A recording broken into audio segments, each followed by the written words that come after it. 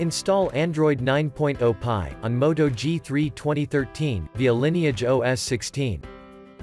Please check the description for important notes and all the download links.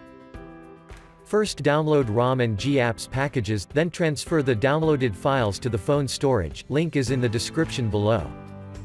Step 2. Boot your device into TWRP recovery.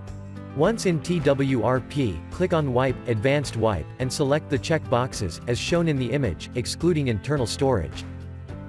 Step 4. Swipe the button to wipe the device.